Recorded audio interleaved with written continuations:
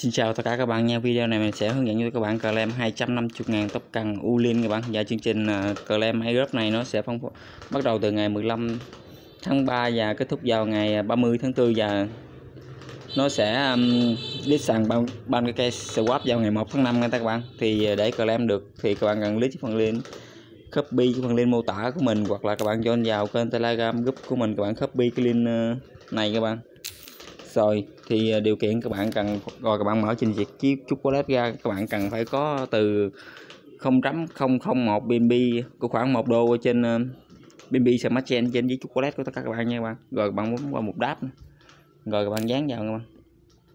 Thì đây thì một cái kèo cũng là hên xui đó, rất là hên xui đó các bạn. Một khi nó lít sàn à, bên cái swap giá cao thì các bạn lãi nha các bạn. Còn giá thấp thì các bạn lỗ các bạn. Dòng trên đây thì các bạn chọn mạng BNB Smart Chain nha các bạn.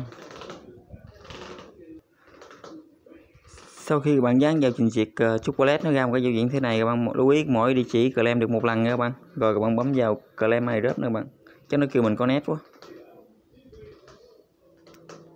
Rồi không cần bạn thì nó kêu các bạn xác nhận giao dịch là mình tốn có khoảng uh, 0.000516 BNB biên bạn. Khoảng ờ, 0.3 đô các bạn. Khá là rẻ luôn các bạn. Rồi bạn bấm dậy một chấp thuận nữa các bạn.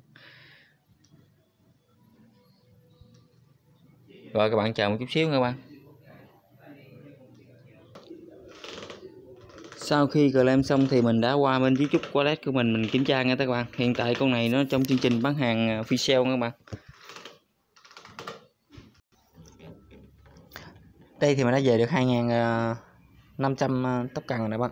Đây 250 ngàn tóc cần các bạn. Copy con chắc, mình có để phần link con chắc của nó chứ phần link mô tả cái video trên nhóm cái video mình hoặc các bạn nào copy không được thì các bạn join vào kênh telegram của mình nha các bạn các bạn copy nha các bạn.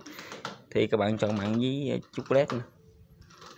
Các bạn bấm vào cộng tờ khoan mình lộn rồi. Sorry các bạn các bạn chờ chút xíu nha các bạn.